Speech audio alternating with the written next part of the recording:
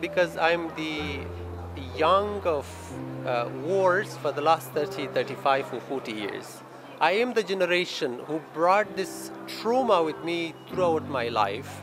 I'm fortunate here to stand in front of you to present Afghanistan, the picture of Afghanistan, and how we engage with Afghanistan. But you know, there have been thousands and thousands youngsters with a lot of energy, vision, and mission. But this, these fights have stolen these hope from out of their, their life.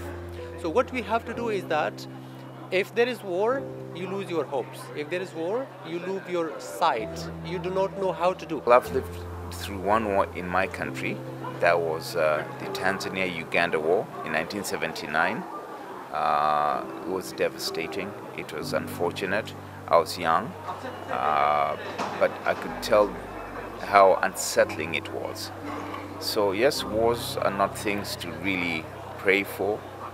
They should be avoided at all costs. People that were killed or kidnapped, uh, personally, friends of mine, you know, people that I know really personally, and uh, it's very hard. They have families, they have children, you know, it's, uh, it's a terrible situation.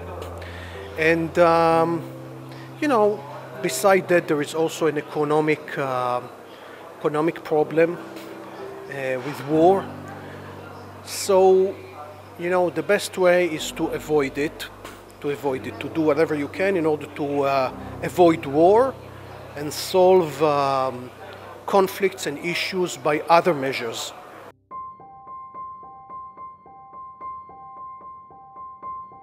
Basically, every single continent in today's, uh, in, in, in this world has got problems, has got challenges with wars.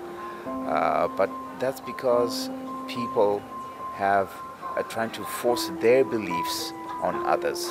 If we go back to the importance of dialogue, the importance of talking to each other, the importance of understanding each other, with China, which China advises and espouses, then the world will be a much better place. You have to have countries that make commitments to seeking some kind of middle ground.